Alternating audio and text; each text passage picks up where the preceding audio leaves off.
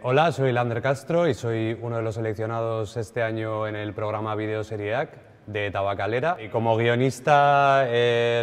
bueno, se me había ocurrido esta mañana, que me comentaron la pregunta ayer, que me hubiera gustado mucho escribir eh, Malcolm,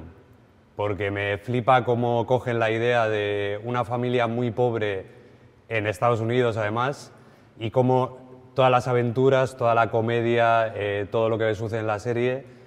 eh, está condicionado por su pobreza y por su lucha imposible contra el capitalismo. Y me, gusta mucho como en una comedia, además de hacerte reír, te cuentan como algo, un tema pues, más profundo.